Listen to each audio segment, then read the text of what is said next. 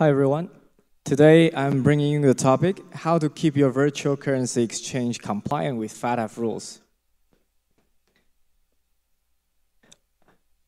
First, I would like to introduce myself. I'm Michael, the founder and CEO of CoolBitX since 2014. And I'm also the chairman of Smart Displayer, an uh, IPO company in Taiwan. My background is from cyber banking security and smart card. We serve Visa and MasterCard certified products to over 50 banks in over 30 countries. In 2014, I realized there's a lot of missing puzzles in crypto industry. And we want to help crypto to go to the next level, to go mainstream. So we are trying to constantly solving the user experience issue, the convenience issue, security issue, and compliance issues. That's why I started the company. Last year, it was a fairly bad year for crypto. Uh, 1.7 billion US dollars worth of crypto was stolen, um, and a lot of hacks, scams, unregulated exchanges, wallets, and ICOs. A lot of those funds were funneled into bad actors through money launderers and to terrorism. Could it have been avoided? We're about to find out. This year, you'll be hearing more um, of these two key terms. One is FinCEN, another one is FATF. Um, for those of you who are not familiar with these two terms, I'll be explaining who they are later. These two guys, they are increasingly focusing on virtual assets, trying to close the AML loopholes and bringing traditional finance best practices into this industry. So, who is FinCEN? FinCEN is Financial Crime Enforcement Network, uh, U.S. governmental bureau.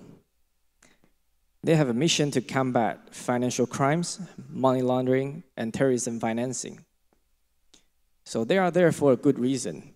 Without them, more funds are going to be injected into tourism and result in more um, um, tragedies we don't want to see.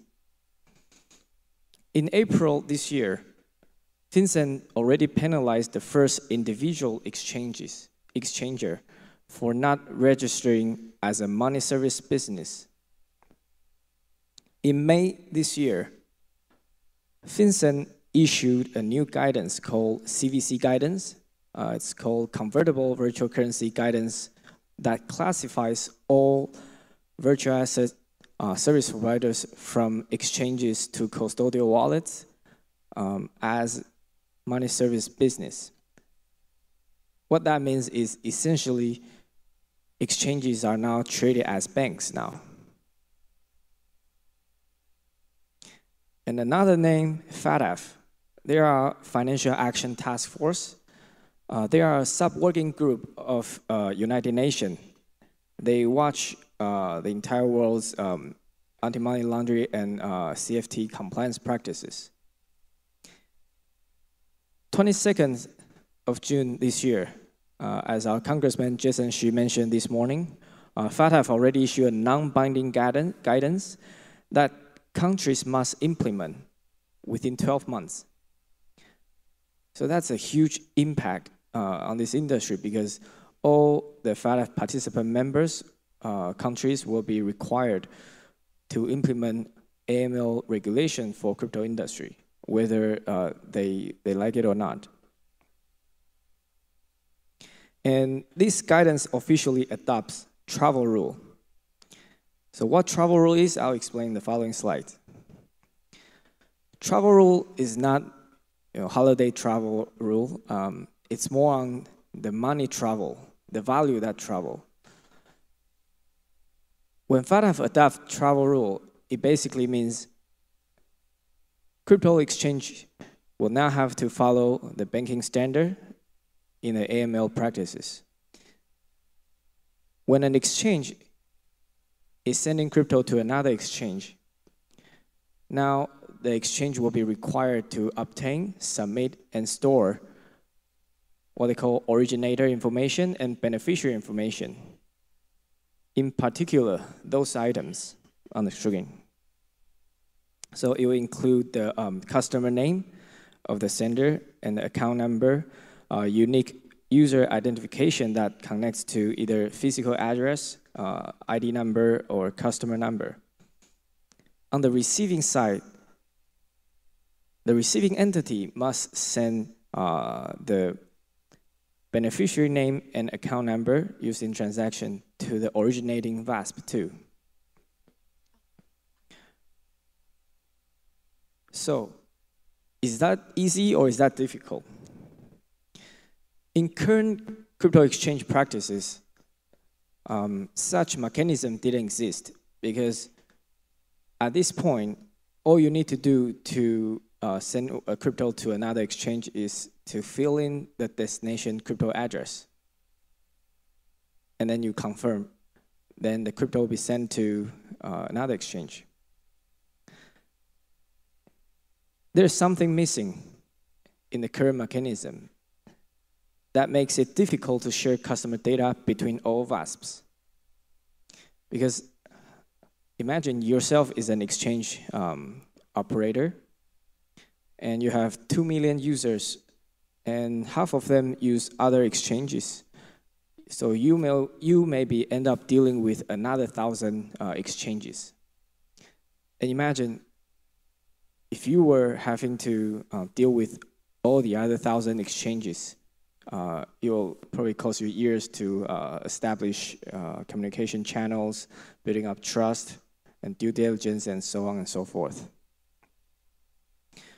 Another issue will be currently exchanges uh, cannot identify the ownership of originating or beneficiary wallet addresses. What that means is when your user enter a destination address, often you don't even know which exchange really own that address. So it makes it even more difficult to begin exchange customer data with another exchange. Let's take a look at what if um, we don't want to comply with the FATF regulation? What would happen? What would be the consequences? So for the countries that don't comply with FATF regulation, they will potentially be blacklisted or uh, be treated as a non-cooperative country or territory. For the exchanges that don't comply with those FATF rules, what would happen? Uh, is either they get penalized, prosecuted, or shut down. As for the users who are using the non-compliant services, uh, they will be treated as a person that's non-registering the money service business, which will end up being penalized too.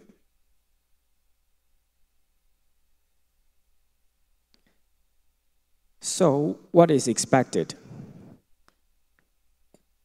In each country, the government is expected to define uh, regulation for FATF rules in 12 months and they have to ensure local uh, VASP compliance with FATF rules, ensure VASP manage, mitigate risks from uh, obfuscating tools like mixers.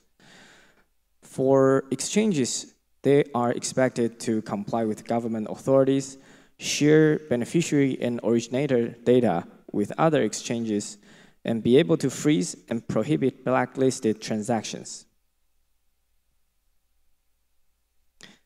Is that a bad thing? sounds to me it's more like an opportunity because it's another step closer to mainstream adoption. And foreseeing this, once we clean the house, forcing out the bad actors, the mainstream financial institutions and governments will be more willing and more ready to embrace the virtual asset industry. Eventually, even banks will be offering crypto to its customers.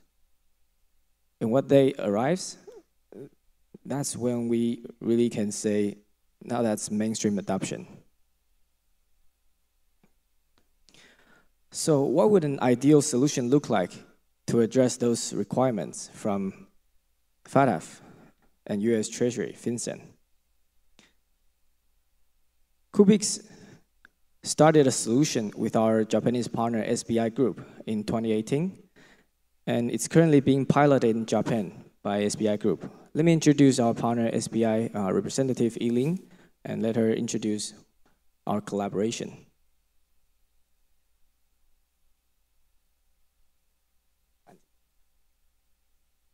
Hey, good afternoon, everyone. So, um, okay, uh, let me just briefly introduce SBI. SBI is the largest fin uh, internet financial companies in Japan, and we have over 5 million users.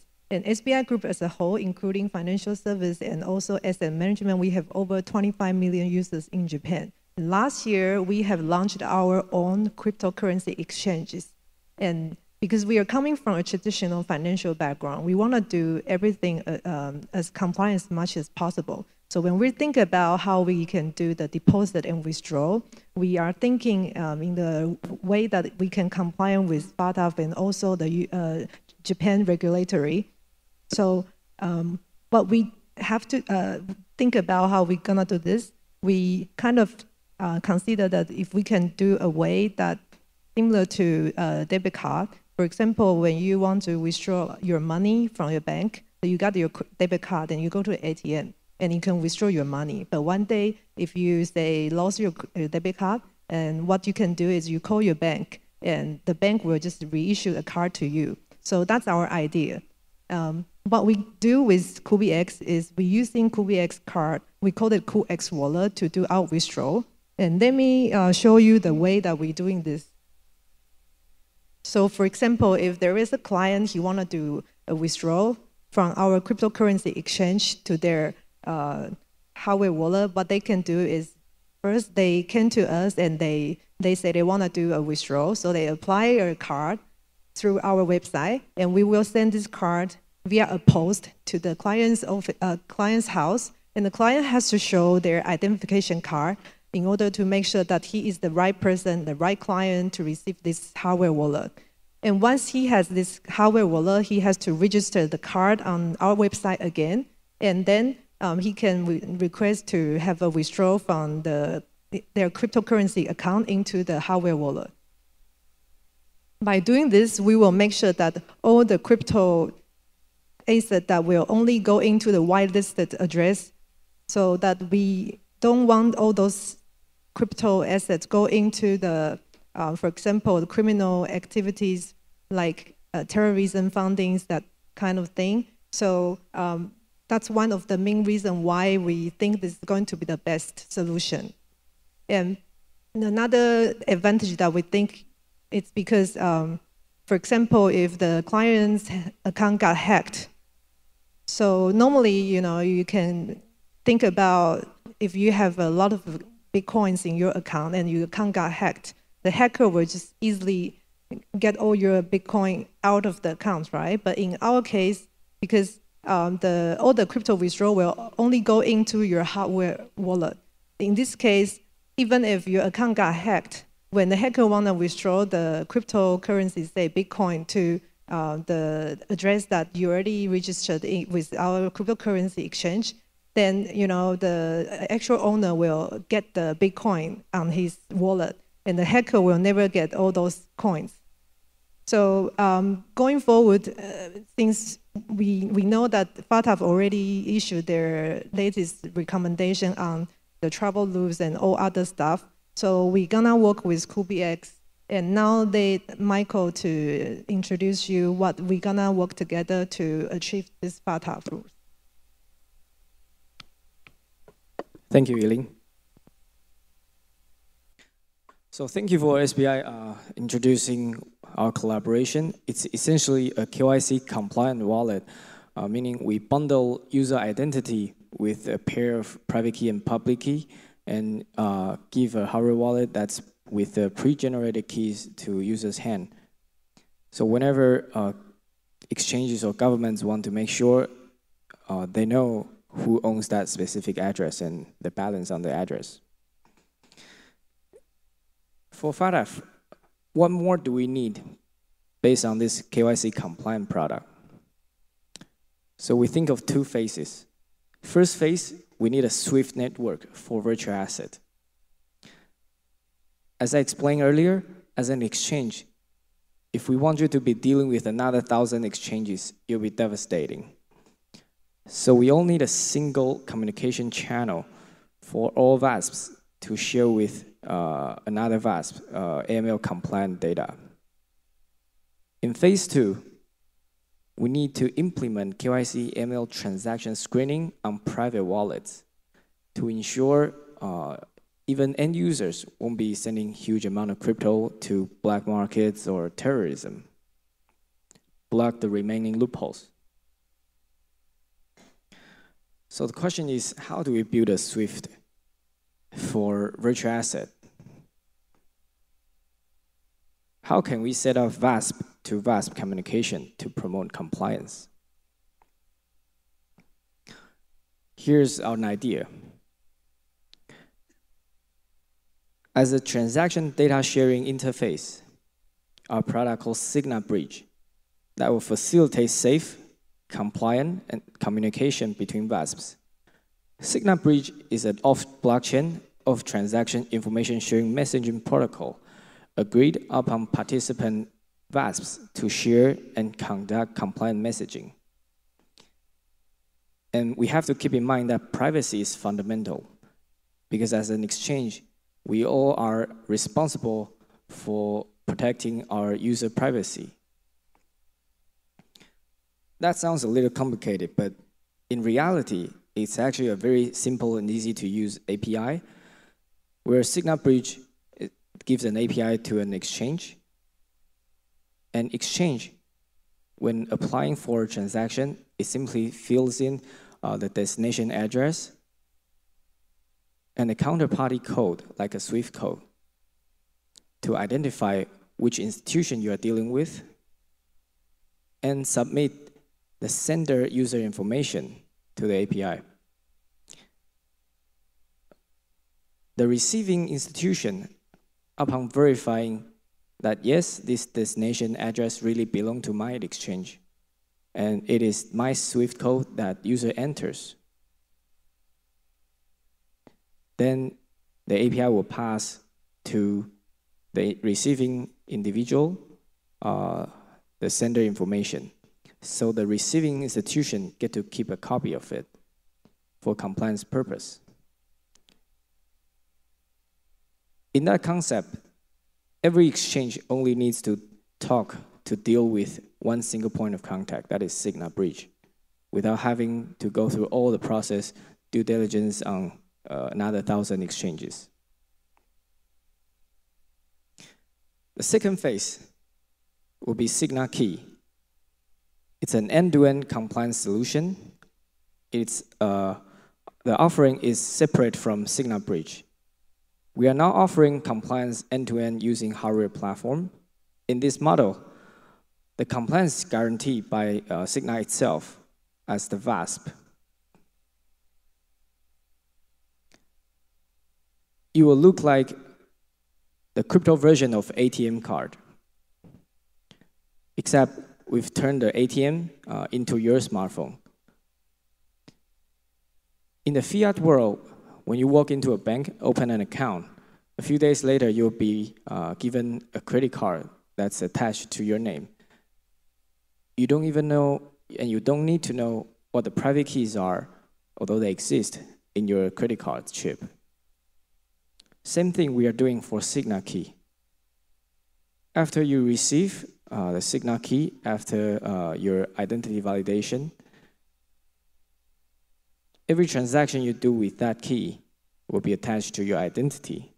And when you lose the card, just like when you lose the credit card, simply call up the service, prove your identity again, and then you'll be given a recovered key you no longer have to worry about storing your own uh, recovery seed phrase or private key. That solves the user experience hurdle we've had in this industry. So let me give you an example of a Sygna transaction. It sounds complicated, but it's actually very simple. All you need to do is using the app to fill in uh, the transaction information and confirm it on the card and the card will pass that information to the phone which relate to uh, the Sygna directory, then relate to blockchain. All that can be done within seconds. It's faster than all of the current hardware wallets in the market. And it's compliant. So with this Sygna, we are making crypto like a bank, but it's for crypto. And the benefits for countries, it enforce FATF regulations, avoid blacklists and transactions, lead regulatory innovations, and attract VASPs as a safe haven, and track and deter bad actors operating in jurisdictions. And benefits for VASP, it complies with jurisdictional restrictions and integrate travel rule technology, enhance security, and more. So in the next following weeks, we are launching the Sygna network uh, with a few top-tier exchanges to do a showcase to FATF and regional regulators that this thing can solve the FATF requirement. We'll be launching that within a month, and I'm now welcoming exchanges to join us feel free to contact us at info at sygna.io. Thank you very much.